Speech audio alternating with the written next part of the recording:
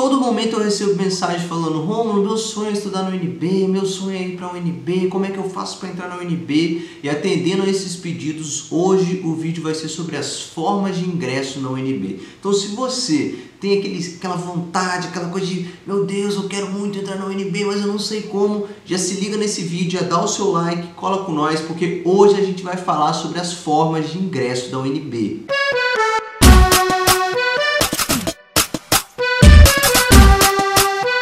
Bom, e antes de começar esse vídeo, eu quero agradecer ao professor Pedro, da Escola 404 de Santa Maria. Ele fez um sorteio para as pessoas que entrassem no meu vídeo sobre faça boas apresentações, escrevessem no comentário 404, ele ia sortear alguns prêmios.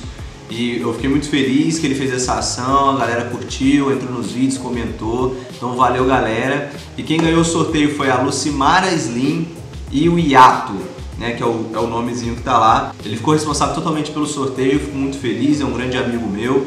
E vocês que ganharam também participaram, escreveram lá nos comentários, muito obrigado pela participação de todos. Se inscrevam no canal também. Eu fico muito feliz que a Escola de Santa Maria está participando, entrando aqui no canal. Vamos conversando. Se vocês, você que é daí de Santa Maria, você que é de qualquer lugar de Brasília, está com dúvida, me manda mensagem. Vamos conversando que eu vou fazer vídeo para vocês sobre o que vocês tiverem dúvida e bora pro vídeo. Para você entender, hoje eu não vou explicar sobre dicas para entrar na UNB. Esse vídeo não é sobre isso, esse vídeo é sobre as formas de entrar na UNB. Então se você está meio perdido sobre quais são as melhores formas, as melhores maneiras, esse vídeo foi feito para você. A primeira delas, assim, é a que eu mais conheço, é a que eu mais domino na verdade, é o Enem, que foi a forma que eu entrei, mano. Na época eu entrei em 2015.1, se você ainda não sabe minha história, não chegou agora, tá meio perdido, clica aqui no card, acompanha, já se inscreve no canal se você está chegando agora de paraquedas e tudo, porque eu vou estar sempre falando sobre faculdade, como escolher a profissão, como se autodesenvolver, tudo isso tem nesse canal, então já se inscreve, já fica ligado para você não perder nada. E você que não sabe, eu, eu entrei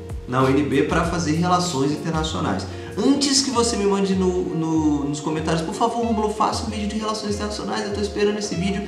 Calma, eu vou fazer. Ele vai sair provavelmente ou na semana que vem ou na outra. Então ele já está quase pronto, eu estava montando um roteiro. Como eu falei no último vídeo, eu fico meio preocupado sobre o que eu falo para vocês, o que eu não falo, como é que eu abordo esse assunto, porque querendo ou não eu troquei de curso, né? Então eu tenho visões boas, mas visões bem ruins também do curso. Então eu vou falar tudo isso no vídeo. Então já, se você não é inscrito, já se inscreve, porque quando sair o vídeo você vai ficar, você vai ser a primeira pessoa a ficar sabendo. Agora sobre o Enem. Quando eu entrei, foi bem disputado porque o Enem é do Brasil todo, né? Então assim, se você é de outra cidade, de outra região, para você vir para cá para estudar aqui, o melhor é o Enem, porque o vestibular e o PAIS, que são as outras duas formas, tem que ser feito aqui no UNB. Então assim, pouquíssimas pessoas que eu conheço são de fora e entraram por esses outros modos, mas existe, tem gente que sai da cidade, vem fazer e tudo porque são um pouco mais fáceis. Porque querendo ou não, o Enem é pro Brasil todo, né, mano? Então você vai competir com a galera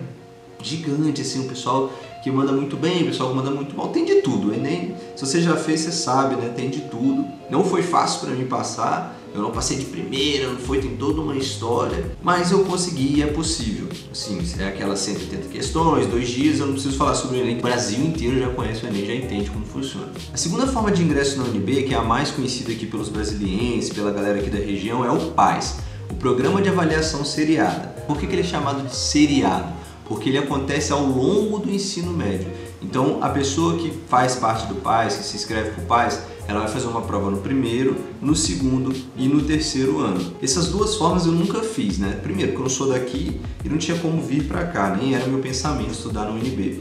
Então, assim, eu não manjo muito. Tudo que eu tô falando aqui dessas outras duas formas, eu pesquisei, perguntei para amigos, pessoas que fizeram dessa forma e eles me explicaram desse jeito. Então, dizem que esse é o mais fácil de passar, porque a prova vai acontecendo ao longo do ensino médio, então o primeiro ano não é a mesma dificuldade do terceiro ano, e assim, a, a concorrência é um pouco menor. Além disso, a UNB ainda disponibiliza mais vagas para essa galera do PAIS, até porque um dos focos da UNB é dar acesso também ao ensino superior para a galera aqui da região, né? Tem muita gente que vem de fora, mas o foco é o pessoal daqui, tanto que tem mais vagas para esse do que do Enem, por exemplo. A terceira forma de ingresso aqui no UNB é o vestibular. Mano, esse é diferente. Esse é, esse é um pouco diferente porque assim, eu tenho muitos amigos que passaram pelo vestibular, só que o vestibular daqui da UNB, ele segue o padrão do CESP. Não sei se vocês já ouviram falar, quem é de fora não costuma ouvir, mas é a banca avaliadora, quem é responsável por fazer esse tipo de prova e faz também muitas provas de concurso aqui em Brasília. E assim, ela tem um estilo próprio de prova, então é muito diferente. Então, se você pensar, ah, eu vou fazer o vestibular da UNB porque é menos concorrido do que o Enem, mesmo eu vindo de fora, eu vou lá fazer a prova. Eu conheço muita gente que vem de fora para fazer a prova, só que tem que se adaptar a esse tipo de prova, esse, esse estilo de prova, esse novo jeito de fazer. Por quê? As provas não são de A, B, C, D, elas são verdadeiro ou falso, ou seja, você tem 50% só de chance de acertar. Isso é bom, isso é ruim, tem os dois lados. Só que o principal lance dessa prova, a principal coisinha que pega é o fator de correção. Eu nunca tinha ouvido falar disso antes de entrar aqui na UNB, assim, fator de correção, mano. Tanto que uma vez eu fiz uma prova em, no meu primeiro semestre de Relações Internacionais, a professora passou uma prova que tinha fator de correção, mano. Eu quase zerei a prova. Por quê? O fator de correção é o quê? A cada a cada pergunta errada que você tiver, você anula uma pergunta certa. Ou seja, mano, se você errou 50% da prova, você zera, porque os outros 50% vai ser é, cortado também. Então, assim, é pra gente que manja.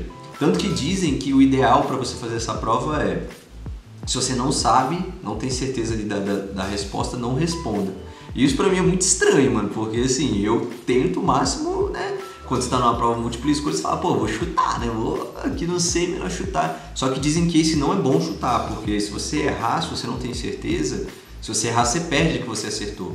Agora, se você não faz, é que você acertou continua lá. Então você tem mais chances de, de talvez é, tirar uma nota melhor. Assim, outra coisa dessa prova, assim, que me falaram que eu, que eu achei interessante é, ela é muito mais objetiva. Né? Então ela tem essa coisa de ser certo e errado, fator de correção, essa coisa toda, só que ela é muito mais direta, ela é para testar diretamente o teu conhecimento. Você sabe ou não sabe isso? O Enem não. O Enem, que é a primeira forma que eu falei, né? Pelo menos eu tive muita, eu tenho muito essa impressão do Enem, acho até bom isso, ele é muito interpretativo. Então se você é uma pessoa que lê muito, que, que gosta de, de ler, que entende as coisas, treinou essa coisa de, de, de interpretação, entendeu os textos, você consegue até muitas vezes fazer uma questão sem nem saber realmente a resposta daquilo. Já no vestibular da UNB, não.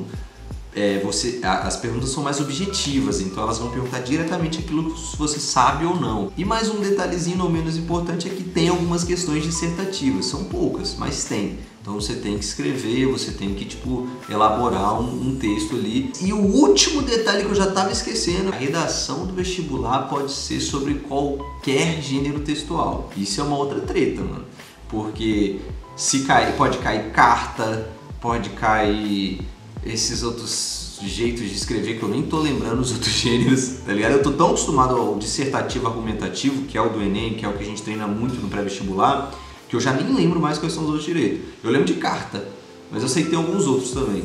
Mas assim, se você for fazer, você não pode escrever, por exemplo, um texto dissertativo argumentativo numa carta. Você tem que escrever uma carta, saber as, as especificações de cada coisa. Então assim, para fechar esse vídeo, eu espero que você tenha gostado. As três formas são Enem, PAIS e vestibular. São três formas que você pode tentar. Se você quer muito entrar na UNB, tenta as três. Se você tem domínio mais sobre um tipo de prova, tenta um tipo. E se você treinar e tentar durante muito tempo, estudar bastante, provavelmente você vai conseguir entrar, porque pode parecer um sonho impossível. Meu Deus, eu nunca vou conseguir entrar no UNB, a UNB é a coisa melhor do mundo que eu vou conseguir na minha vida. Calma, calma que também não é isso tudo. Tem outros vídeos que eu falo sobre isso, eu vou continuar explicando sobre isso, a realidade da UNB, as coisas que que vão acontecendo, para vocês irem entendendo que é um sonho, você tem que correr atrás disso mesmo, mas também não precisa ser o final da sua vida se você não passar ou se você não está conseguindo passar. Vamos conversando, vamos bater nesse papo. Já se inscreve para você ficar ligado em tudo e cola com nós. Cola com nós que é sucesso.